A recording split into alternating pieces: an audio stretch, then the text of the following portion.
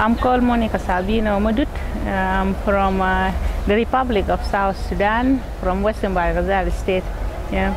Uh, I started uh, at a mission school known as John Paul II uh, School. Uh, it was a mission school and uh, don- donated by Combonian and Salesians. Uh, after I graduated from John Paul, then I, I got enrolled to Juba University. Uh, and there I did uh, community studies and, uh, and rural development, where I graduated in the year 2006. And uh, after that, I got my lovely son. I call him uh, Garang. I named him after our fallen hero. And uh, after that, also, I, I work with the Ministry of Finance at the Department of Planning and uh, Statistics. I work as an inspector for planning.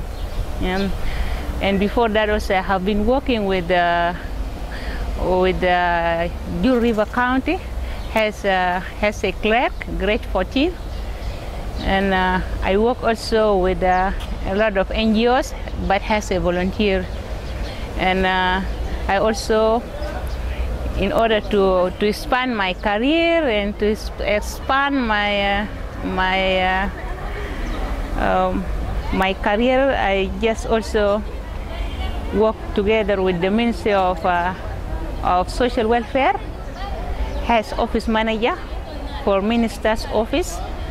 And uh, after that also I quit it and I was uh, released to go and serve my party, the SPLM, uh, has a, a gender focal point with the SPLM Youth League. And later they also advised me to do my master's rather than just to stay and work and work. I must also add something to my knowledge. So I appreciate them also for this, uh, this offer. And that's why I'm here now. I'm released by the SPLM Youth League to do masters in uh, gender and development at Ahfad University for Women. South Sudan uh, separation and independence, there are a lot of causes, yeah. But I will also I will only concentrate on three or two of them. The first of all is uh, uh, marginalization. Yeah. Southern Sudanese were marginalized for a very long time. Yeah. Since the independence of the Sudan in 1956, we struggled together as Sudanese for our, to achieve our own independence. But at the late hours, then we discovered that our brothers, the Northerners, were dominating all everything in the Sudan. Yeah. We were exploited economically. For example, let me take the issue of, of petroleum. The petrol is there in southern Sudan. Can you just imagine how long the pipelines that move from southern Sudan, from entire South Sudan up to Port Sudan? It's exported there in Port Sudan. Very long journey. And when it's, it's also exported, then the revenue doesn't go directly also to South Sudanese. We are still being exploited. Yeah, South Sudanese were not given their right. Even the constitution of the Sudan was dominated by Islam and Arabic culture. So we, we, we South Sudanese, we discovered that we are not actually part of, of the Sudan since we are not represented in the constitution and we are not also acknowledged in the, in the way that the revenue of the Sudan is distributed. For example, by then, the, the money that goes to South Sudan was only chapter one for the salary. But development money do not go to South Sudan. They just end up here in the center. That's the first cause of the, of, uh, of the separation of South Sudan. And the second one is also the mismanagement of diversities, as I have just mentioned in the constitution. Sudan is very diverse, yeah. And also people, the Sudanese people, especially the northern people who were dominating the power, they mis mismanage the diversities. Yeah.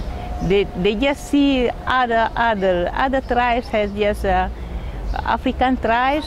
They see them as pagans. They see them as people who are who don't understand, and they label them with a lot, a lot of, a lot of, uh, a lot of, uh, of, uh, of things that should not be labeled to human beings. Yeah. I, I, I really, I was overjoyed that I felt even sick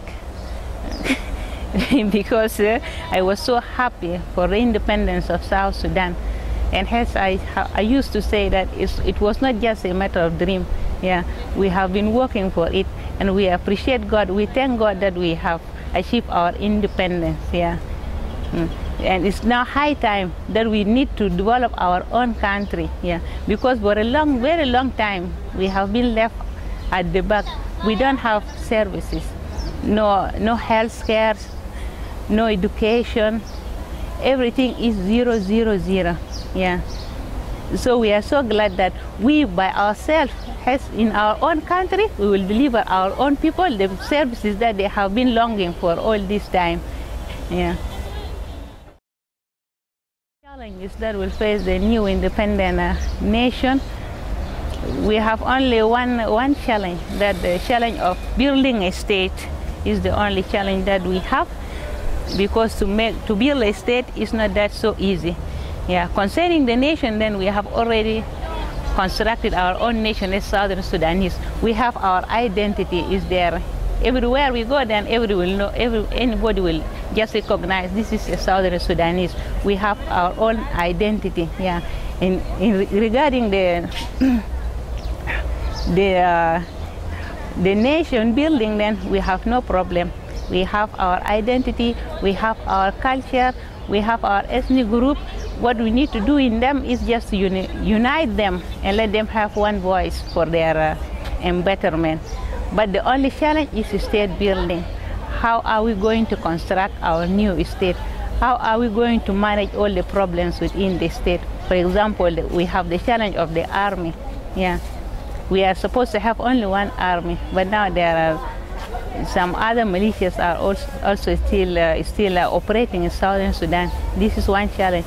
And the other challenge, which is a very slight one, is a gender uh, consent challenge. Yeah, but I'm so glad that in southern Sudan that there's a great respect, yeah, for gender issues. Yeah, even within the constitution, if there are some slight mistakes, then they are very limited. They are not that so vast. Yeah, for example, in the constitution of South Sudan. Uh, there's no there's no very very broad line about about uh, about polygamy.